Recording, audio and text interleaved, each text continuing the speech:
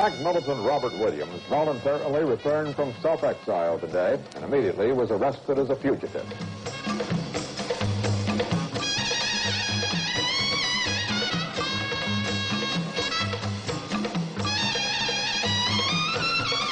The reality is that America is not God, America is not the end of the earth, and it doesn't matter what the Americans think, in the final analysis, the truth will come out.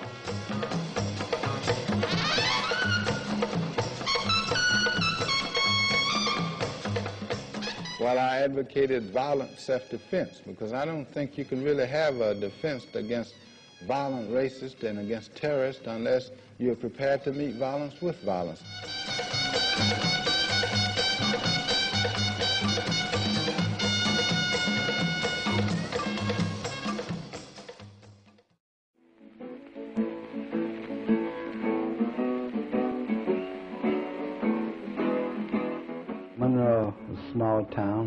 Typical of southern towns. Me, my wife, gone all over town. Everywhere we go, the people would turn us down, Lord, and then we go down. My father was a railway worker, but they had a system on the railroad.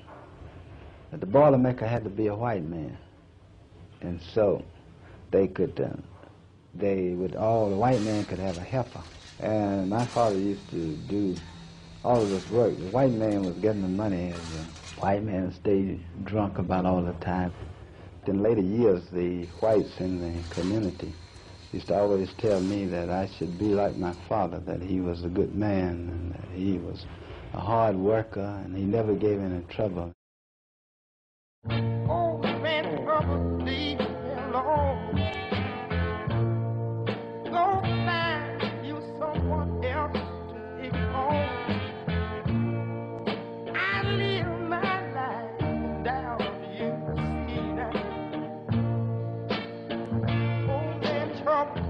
I lived out in the rural area of Union County, and when they talked about Rob Williams, we were really young children, and we had mixed feelings about who this man was.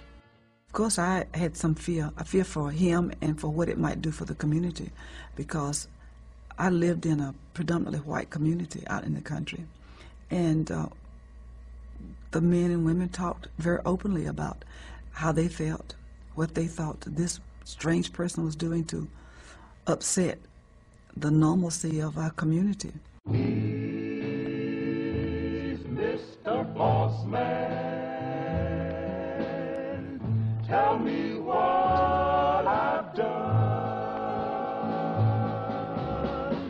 How come you lock me away from the light? Klan tried to make a black woman dance on the street corner at gunpoint. Otherwise, they make somewhat of a jig. It's like a puppet, you know, when you're dangling a puppet on a string. You're completely reduced then to nothing. And that's one thing that helped set that first thing off in Monroe in 57. That's what set off the God. Then we started to really getting organized and setting up and digging foxholes, and we started getting ammunition. Rob had these guns, high-powered rifles. You know, all we had was 22s and 410 shotguns, hunting. You know, and got a chance to, you know, to use the uh, high-powered weapons and become proficient with them. And he taught us a little, uh, what do you call it, karate or self-defense things. You know, we drilled with him and trained with him. Much of our guard was young. We had guys that were 16 years old, 15 and 16. Some, uh, we had some too in the 40s and 50s. But a good many of them were the very young high school students and dropouts. We were never looking for trouble. You know, as long as we you're peaceful, we're peaceful. But if you become violent, we have to become violent. You know, uh, we weren't uh, attacking anybody or fighting against anybody, just protecting ourselves. You know. Had 200 armed, plus we had others who would have been on call, about five or six hundred guns, because some people had guns who weren't directly participating, but they were on call if we needed them. I guess he weighed mm, like maybe about maybe 220 for the time. That was pretty big. And uh, he was, was strong now. Rob could have handled himself now, I'm going to tell you. You know, he, he could have handled himself.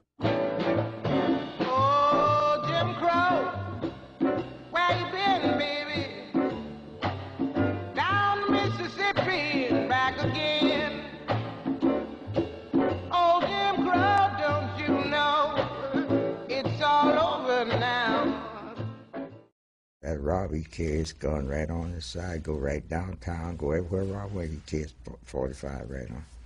Now, where he'd use it now, I don't know. But I guess people felt the same way like I felt. They, they didn't know. So they didn't bother Rob. threatened with death, he walked down the street wearing a pistol on his belt, which would be a normal white Southern thing to do. white Southerners, their rights challenged, will react with, with uh, vehemence and force.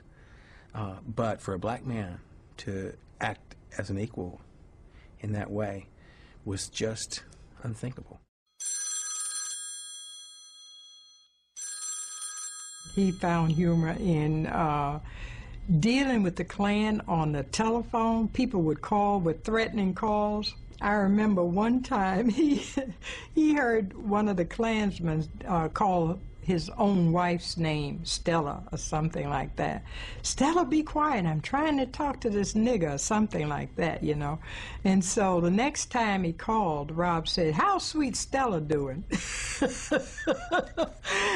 the man said, "What do you know about Stella? I'd soon kill Stella as to kill you."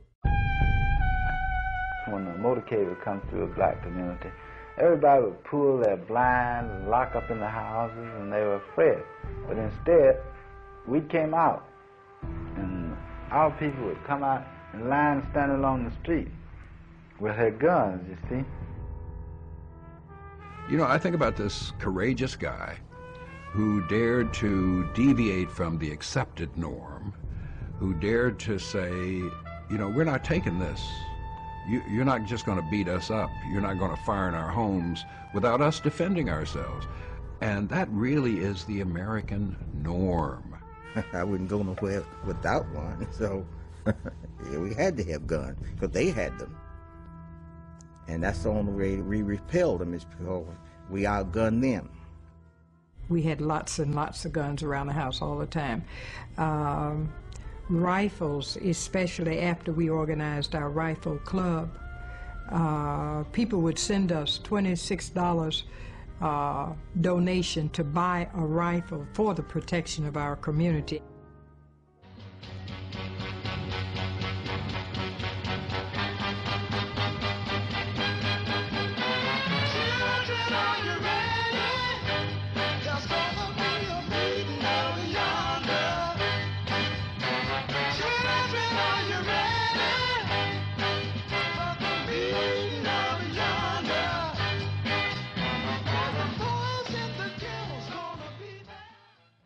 One evening in October of 1958, there were some two black boys and some white girls and boys playing in a vacant lot in Monroe. And on toward evening, a kissing game ensued. Someone kissed someone. Well, nobody had seen it, but the girl just had made a casual remark to her mother that she had kissed Hanover. And then the mother got all excited and started scrubbing her, scrubbing the face, and called her father, and he threatened to kill him, go kill him, and got his shotgun. The police went looking for them too. They found the two little boys, arrested them, uh, uh, beat them, uh, locked them in the basement of the jail for six days without being able to see their parents or talk to an attorney. Um, terrified them. They it, it, it so happened that Halloween, uh, it the it was October 28th, and then on Halloween the police officers put on sheets and came down into the basement of the jail where the children were being held, thinking it would be real funny to terrify them because the children knew that the Klan was outside calling for their blood. And they had to teach these boys early that they just couldn't couldn't expect uh, to cross the color line in sex. There were two separate hearings, one for the white families and one for the black boys. And then the, the local judge sentenced the boys to reform school uh, to, for a period not to exceed their 21st birthday. Now, they were 8 and 10 years old. He turned into kind of a one-man press office for the, for the kissing case, and he managed to get this out onto the front pages of newspapers all over the world.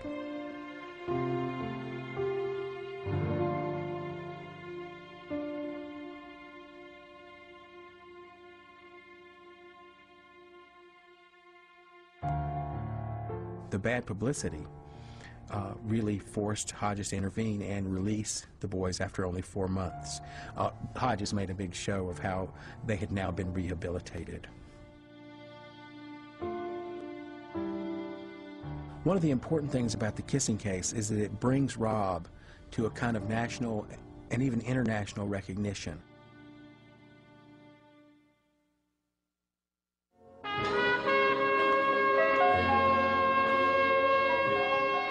Then there was the case of uh, Mrs. Reed, Mary Ruth Reed. She was about I think, seven or eight months pregnant. And this man, white man, came to her house and he was, first he tried to get her to go to bed with him and she resisted and he beat her, started attacking her. The struggle went into the field between two houses, and her white neighbor saw uh, Medlin beating her and pulling at her clothing and ran out. Um, and uh, and her- she and her children were fighting with him, and the white woman came out and she saw what had happened, and uh, uh, he he eventually left uh, without having raped her, but he had tried. So what had happened was that during this time, some men in the community, this woman also had some brothers, had three or four brothers, and the men in our guard said that we should kill this man. Rob said, no, no, no. Let's let the law handle it. So, and he really, Rob really believed in the law during those days. They brought this man, Louis Med- Medlin, the white man, brought his wife and set him at his side, all during the time the trial was on it. His lawyer got up and said, Judge, Your Honor, this man is not guilty, that he was just drinking, having a little fun. Said, you see this woman sitting here at his side? This is the pure flower of life, God's greatest gift to man, this white woman. And do you think that he would leave this pure flower of life for that? And so, that was the end of the trial. They found him not guilty and dismissed the case. At that point, every black woman in the courtroom was in tears and angry and ready to do something. And they took uh, the accuser out the back door. They took them out the back door, and when we all met down where Rob was, uh, and he saw what our condition was and how, and one woman said, "You, these people have uh, declared open season on black women. What can, what are you going to say now? What are we going to do now?" And that's when he made that statement. I made a statement that if the law, if the 14th Amendment to the United States Constitution cannot be enforced in this social jungle called Dixie, it is time that Negroes must defend themselves even if it is necessary to resort to violence. That there is no law here, and there is no need to, to take the white attackers to the courts because they will be free, and that the federal government is not coming to the aid of people who are oppressed, and it is time for Negro men to stand up and be men, and that if it's necessary for us to die, we must be willing to die. If it's necessary for us to kill, we must be willing to kill. Lord, I'm in trouble, trouble makes me weep and moan. Lord, I'm troubled, troubled since the day I was born. Lord, I'm troubled, troubled.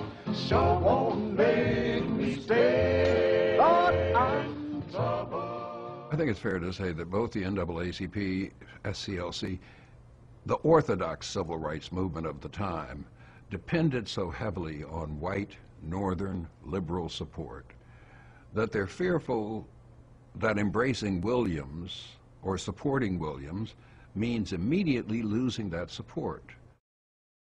I wasn't going to crawl to try to appease and accommodate white people who were giving money, contributing money, that it was a matter of human dignity. So they said I was suspended for six months. The chapter said, well, if he's suspended for six months, then we will appoint his wife as the president of the branch, and that he will run the branch through his wife.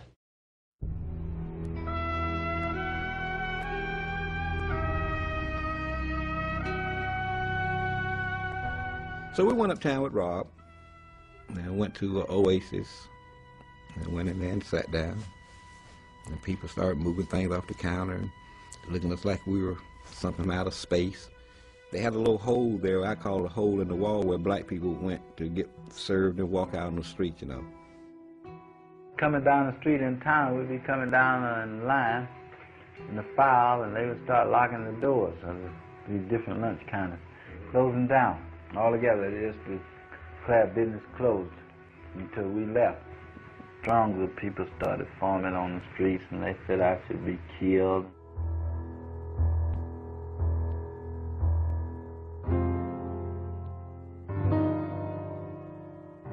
1961 was the fourth summer in a row that Robert Williams and the NAACP in Monroe had tried to integrate the swimming pools.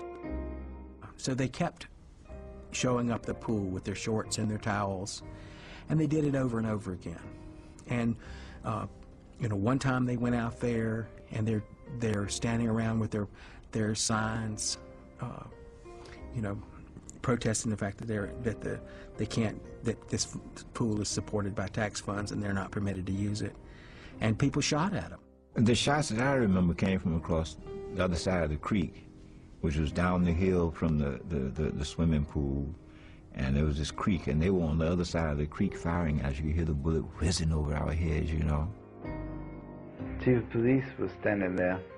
I asked him, did he hear these bullets? He said, no, he didn't hear anything. I told him, well, that was good. That I was glad to know that he didn't hear very well because when we started shooting, he wouldn't hear it either.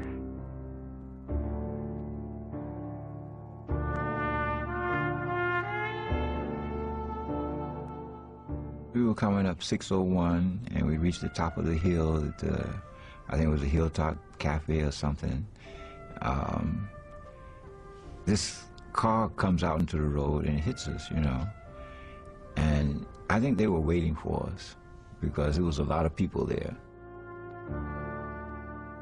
The police were there, supposedly directing traffic and ignoring the fact that the mob was closing in on Rob's car with the teenagers.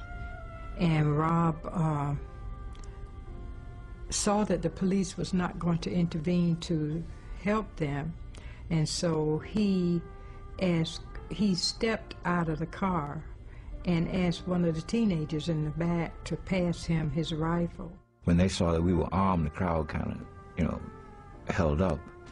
And then that's when the police got involved because they were there all the time and saw what was going on, but they never moved until they saw we had weapons. And they wanted to come and take our weapons away. And Rob said, no, I, I ain't going to give up my gun unless they give up theirs. And I put the rifle in his face, so we're not going to surrender to any mob. Then there was an old man out there that started crying. The man just crying like a child, like a baby. He said, what is this country coming to? Said, the goddamn niggas got guns and the police can't even arrest them. And so that's where he got the title Negroes with Guns.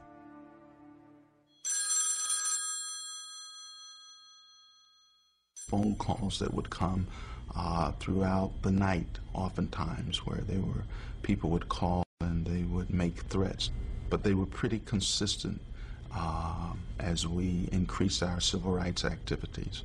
And uh, then things got to the point where uh, threats were being made that people were threatening to bomb the house. There were times when people would come by the house and shoot guns. You have to understand that in the in the years between, say, 1957 and 1961 in Monroe, there were Klan rallies with as many as 15,000 people in attendance. And it was dangerous. They were constantly under attack. And uh, the, the Klan was large and violent, and it killed other people. By 1961, the aggressive approach to local rights problems had brought violence to Monroe. And Williams and his followers had strayed farther away from the main line of Negro thinking. These incidents awakened the concern of moderate whites and Negroes alike. The Ku Klux Klan and other segregationist groups began taking a greater interest in the Monroe situation, too. In line with his policy of armed self-defense, Williams organized Negro gun clubs. The town of Monroe was becoming a potential powder keg, an incident waiting to happen.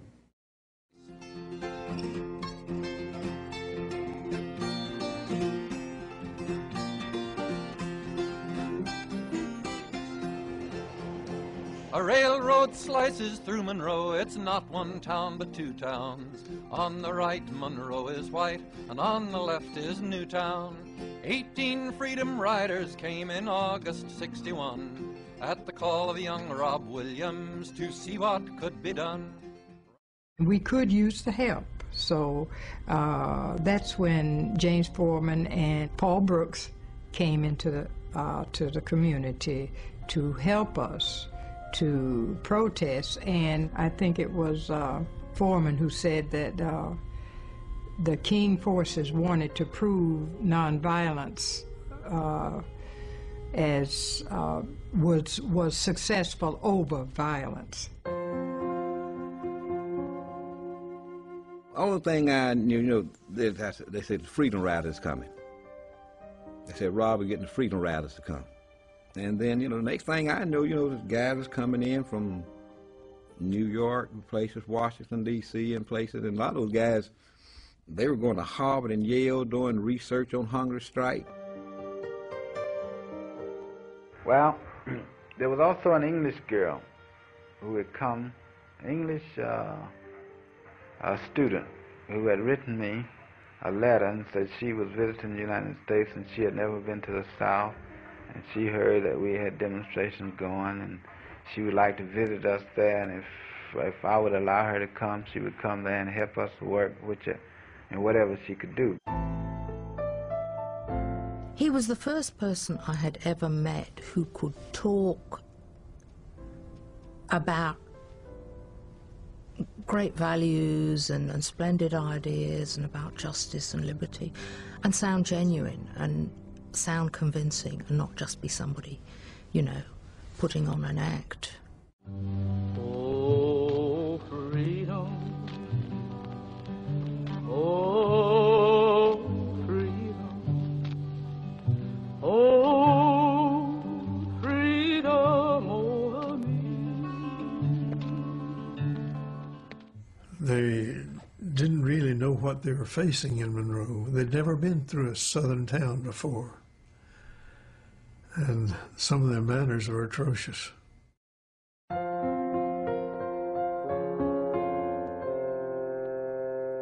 Now, I remember they would tell us, like, say, if you can't take it, don't go up there. Because he said, this, go, this is a non-violence. Like uh, people come there spitting on you, kicking you, and pushing you, and all this kind of stuff, you know. You know, because he said, like, if you go up there, this is probably what's going to happen. If you can't take it, don't go.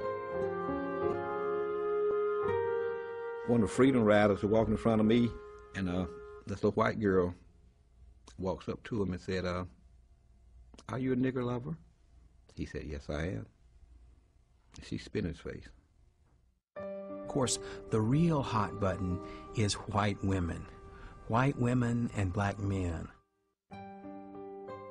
The pavements opposite, on the other side of the road, were clearly packed with people. Um, there were certainly people shouting every kind of abuse. Um, they were standing there watching um, and clearly weren't going away. They didn't just happen to be passing. Um, we'll get you nigger and nigger lovers was the, the, the favourite thing. They picketed for a week. Well, the time was coming up for the weekend. And I wasn't participating in the demonstrations at all because I wasn't going to take any pledge for nonviolence. And so I asked them if they were going to rest on uh, Saturday and Sunday. And they said no.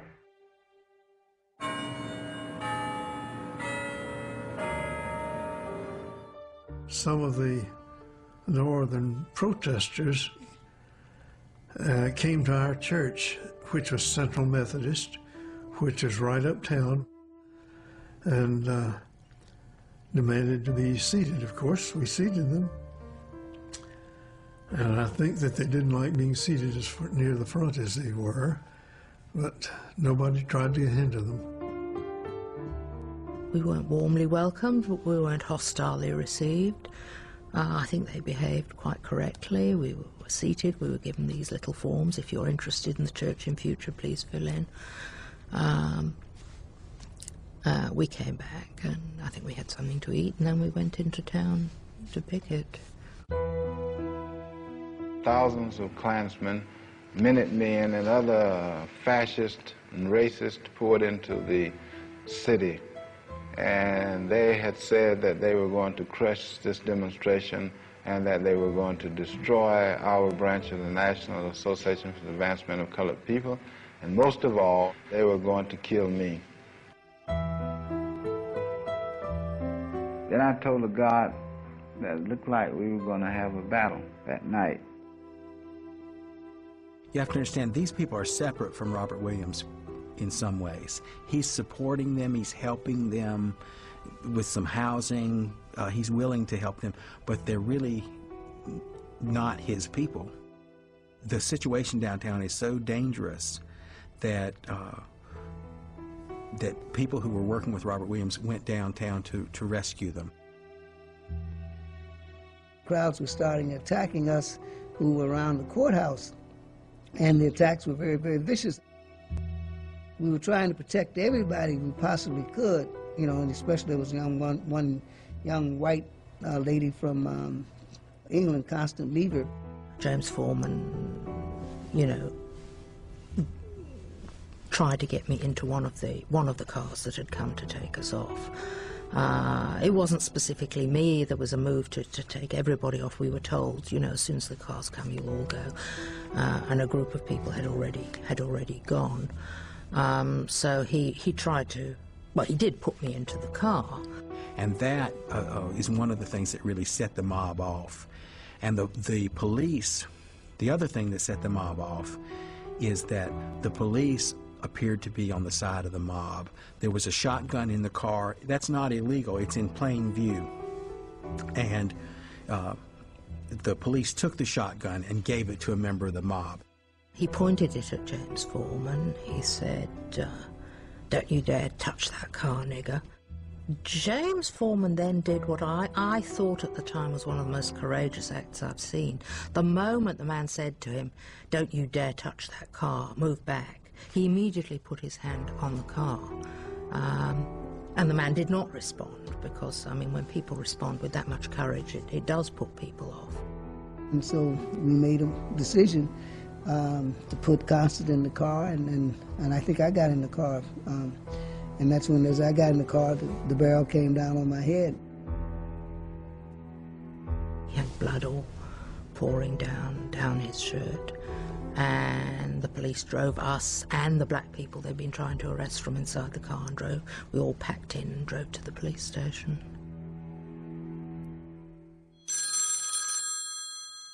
I started going to the telephone. I told them no, I was too busy. I didn't have. To, I wasn't going to accept any more calls. And then they hollered out again and said, "Well, this is Martin Luther King calling from Atlanta. He wants to talk to you."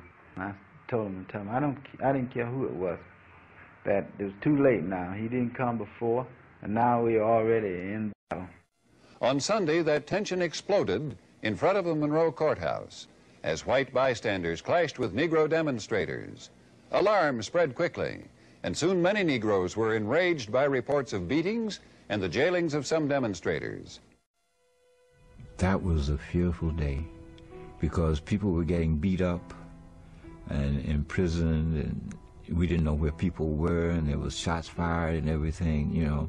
But the, the, the, scary part was when the uh, Stegalls came onto to the neighborhood, and the crowd wanted to, you know, attack them and kill them, and Rob said, "No, protect them. You know, you, you know, don't let nothing happen to them." And that was the time I felt, you know, I was gonna have to fire on some of our own people because they were really angry. According to Mrs. Stegall, she and her husband drove to Monroe Sunday afternoon to visit her mother. They heard of the disturbances in town but weren't involved until they took a shortcut to their destination. Then on Winchester Street, passing through a Negro neighborhood, a crowd suddenly blocked their path. Mrs. Stegall tells what happened then in these words. Everybody had a gun of some kind. It was some of the awfulest guns I've ever seen. And I remember one fellow that come pushing through like that with a, he had a sawed-off gun, a double barrel thing. He said, let me kill him, let me kill him, just like that. Now, when did Williams come on the scene? Well, after they had took us out of our car at gunpoint and marched us up the street to his house, and that was the first time I saw him in his yard. They were very, very angry, and I could see that they were very angry. So when I came down into the yard, uh, Mrs. Stegall said to me, "Ah, we've been kidnapped." And uh, so I said, "Well, lady, you're not kidnapped here. If you want to go, you're free to go whenever you are ready." I said, "But you got to go through this crowd."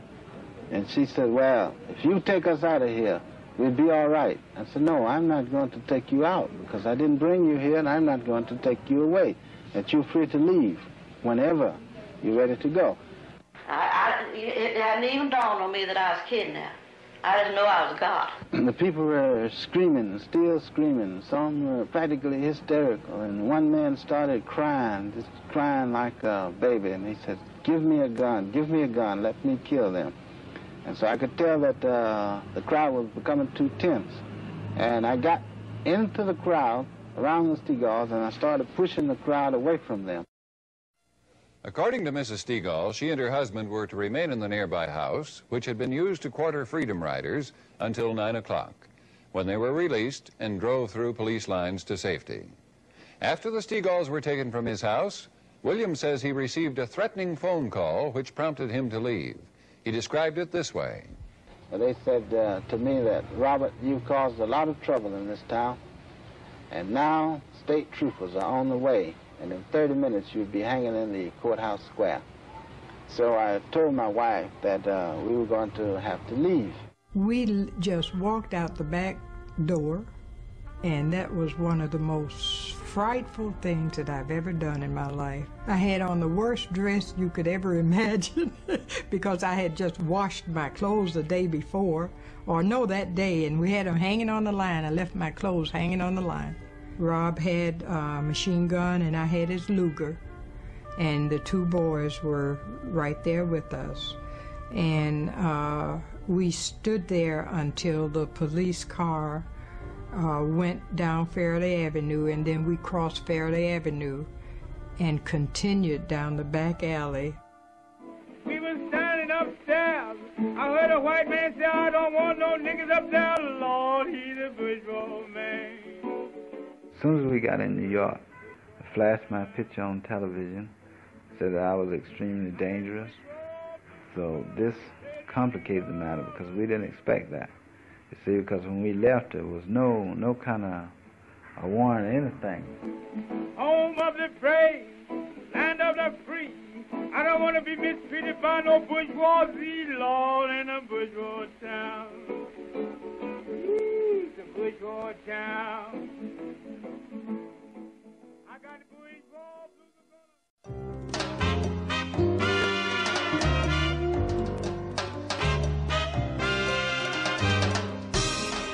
I was given uh, political asylum in Cuba. And I was there as an exile in Cuba, and I lived there as an exile. Now, were, were, were there any particular Cuban leaders uh, who gave you this asylum, or was it just the you know, in general, the government there? Well, actually, this political exile was given to me uh, under the direct orders of Fidel Castro himself. From Havana, Cuba, free territory of the Americas, Radio Free Dixie invites you to listen to the free voice of the South. Stay with us for music, news, and commentary by Robert F. Williams. He came up with the idea of Radio Free Dixie. And uh, we had to fight. He had to fight hard within Cuba to get get it on the air. But eventually, Fidel Castro, when he told Fidel Castro what his idea was, he said, "Well, uh, we'll see what we can do." So finally, they allowed him to have the Radio Free Dixie program. Radio Free Dixie is presenting the soul side of rock in the year of fire. The social conscious rock and roller is calling attention to social injustice. Yes, these new cats are no slackers. We are tuned in to their wavelength, and we dig them plenty. You can hear it throughout the South. You can hear it in New York City. You can hear it in Seattle. You can hear it in Los Angeles. And, you know, they're trying desperately to jam it. And eventually, between the, the Cuban censorship and the FBI and the CIA jamming it, um, it reaches a much smaller audience eventually. But we would just almost embrace the radio just to hear his voice. You know, that was that was the treat of, of the weekend. Radio Free Dixie is proud to present the seldom heard songs of brutal oppression and dehumanization that no American radio station dares broadcast. The music was fantastic. The jazz was fantastic, and uh, sometimes now I can hear those uh, songs echoing in my mind: "Watermelon Man" and "The Protest," Nina Simone, "Mississippi Goddamn." Alabama's got me so upset. Tennessee made me lose my rest. And everybody knows about Mississippi Goddamn. Robert F. Williams, Afro American refugee from racial oppression in the USA, former official of the NAACP, author of the book Negroes with Guns, Presently, we must use whatever method in our possession. We must make use of the gas bomb, the lycan, the ice pick, the switchblade, the axe, the hatchet, the razor, the brick, and the bullet. Next year, we shall meet machine gun with machine gun, hand grenade with hand grenade, in a new spirit of meeting violence with violence. Now, did you ever feel that what you were doing was in any way uh, act of treason or unpatriotism towards your country, towards the United States of America, or had you abandoned America? Did you feel you were now a Cuban, or what? Now, I don't believe any man who lives in under tyranny in a government can ever be truthfully accused of treason. Treason can only come when a man is entitled to the rights and privileges and he is protected by his government, and then he betrays that government, then he can be accused of treason. But when the government uh, betrays its trust to its people, then the government is, is, is what is guilty, is the guilty party to treason. And I consider the government of the United States to have failed the black people in America in uh, protecting the rights of black people and the enforcement of the Constitution. The lawlessness that broke out with unbridled fury in the Watts section of Los Angeles was deplored by responsible Negroes and whites alike. In the spirit of 76, in the spirit of Los Angeles, let our people take to the streets in fierce numbers. And in the cause of freedom and justice, let our battle cry be heard around the world. Freedom, freedom, freedom now, or death. I think all of us kind of during that period felt a certain amount of the romance of revolution, and we we felt that uh, that it might work. You know, it might overcome the odds. You know, where everyone was telling you can't use these tactics because you're only one tenth of the population. Well, you know, you look around the world during that time and you saw in, in Castro's Cuba that a small group of revolutionaries had overcome a government. So it seemed, well, maybe it's possible. Negroes with Guns came out in 1962, and it's really uh, probably the most important intellectual influence on the Black Panther Party. It's uh, kind of a founding document of the Black Power movement in many ways. I think that that influence is something that comes through the 1960s as a, as a theme, ending up with the Black Panther Party, which is the Black Panther Party for self-defense. And, um, and again, I think that that's something that has very strong roots in American traditions. But I tell you, that book, just the very title, I thought was so great.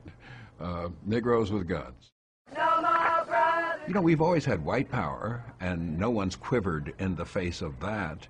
But all of a sudden, black power comes. A small minority, 10% of the population, says we want black power, and the country goes into paroxysms of fear and condemnation and scorn.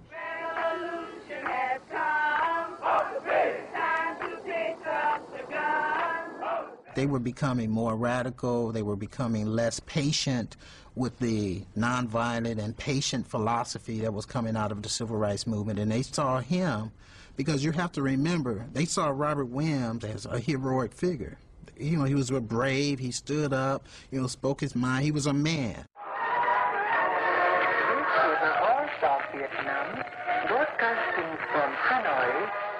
I know that they rebroadcast some of our Radio Free Dixie on Radio Hanoi.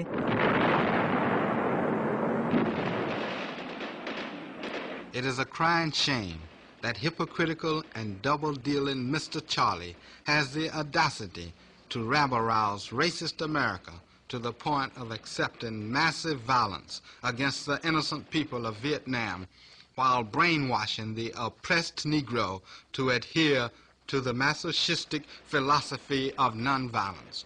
Yes, Big Daddy orders a semi-state of war footing and dispatches elite troops to defend Mr. Charlie's version of democracy in Vietnam, while Afro-Americans bleed and die from the lack of police protection in the black ghettos of racist America. What a sham. What blatant hypocrisy.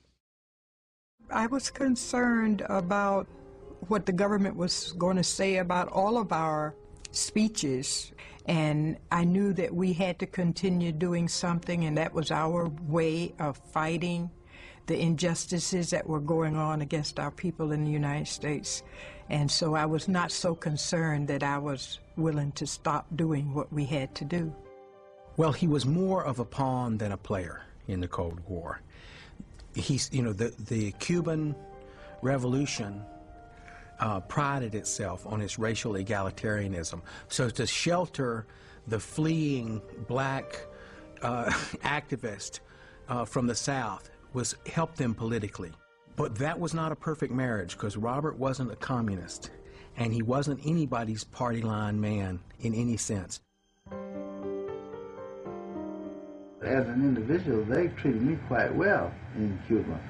But with some of the party people, I had some problem.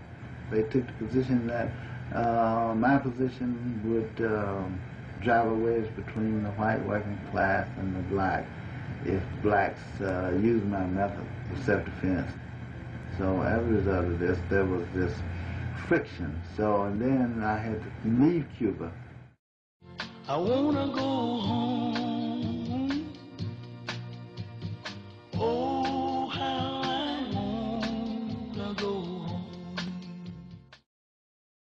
Chinese people warmly welcome Mr. Robert Williams, noted Afro-American leader, and Mrs. Williams.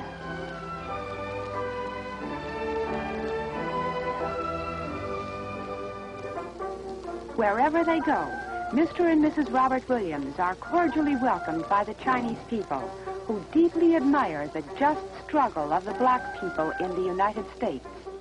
He kept trying to return to the United States, but he kept being turned down. He uh, approached the Swiss to intercede for him, and uh, because the United States did not want him back in the United States, the whole idea was to get rid of him as a uh, part leader of a movement.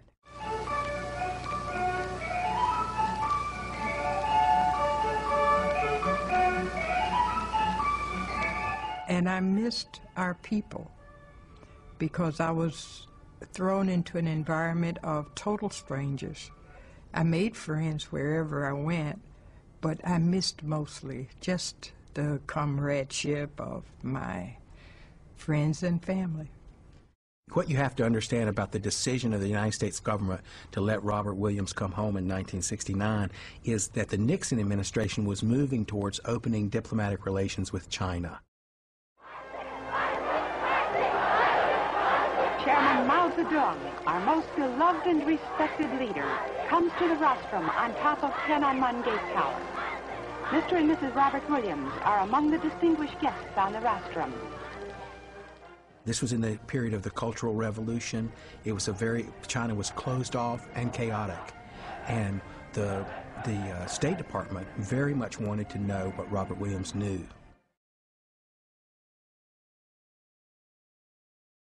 Robert Williams, a fugitive and one of the first of the black militants, is being supplied with an entire jetliner for his return tomorrow from a self-exiled in communist and African lands.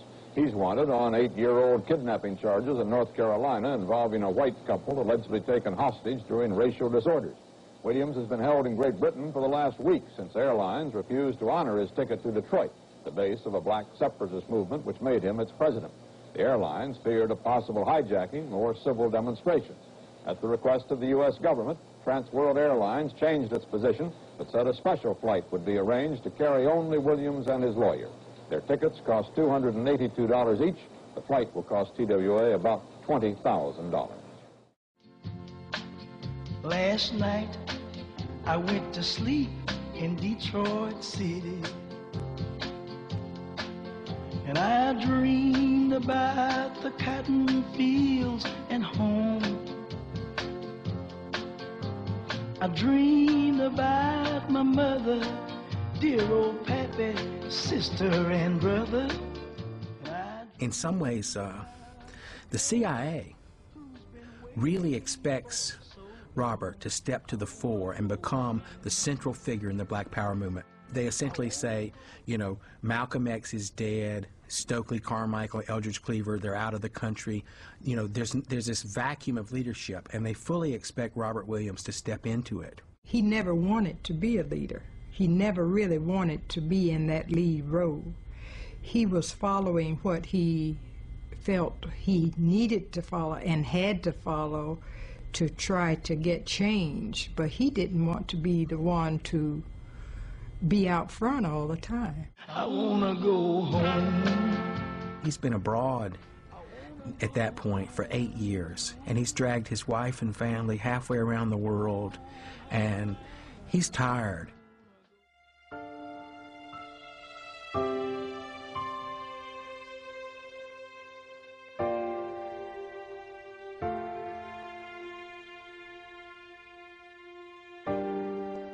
He was famous. He was a poster. He was the icon of Black Power. But he went, you know, they moved out to Western Michigan and went to Baldwin, and he joined the local NAACP, and he spoke at colleges and at prisons. He tried to to uh, to be a sort of a local community person. You like to say that, huh? Yeah. Or Mabel. Huh? One more shot in here. I hope when I get. When you get what? You hope you get there, that's all. That's what he hopes. Oh man. seeing him as a figure who managed to stay active, stay vocal, stay militant uh, during a long period of time when the cost of doing that was tremendous makes him to me a heroic figure.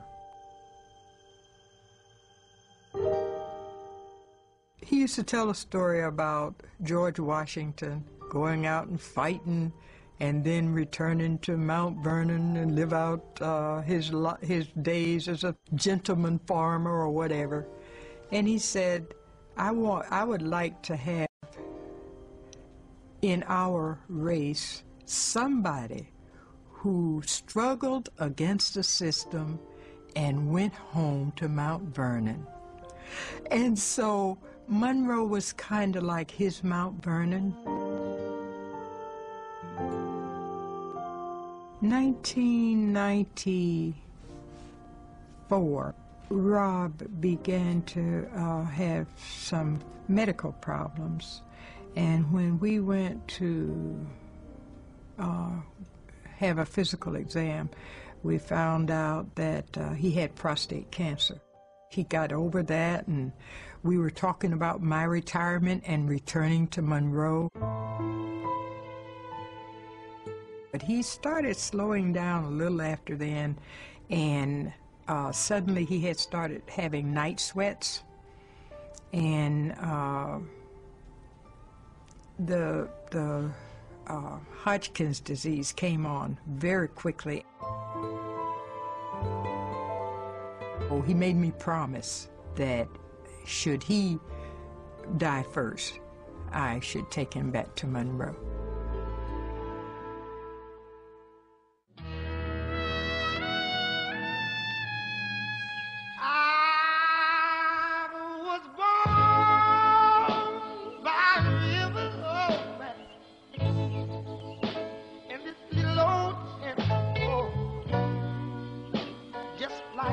This river, I've been running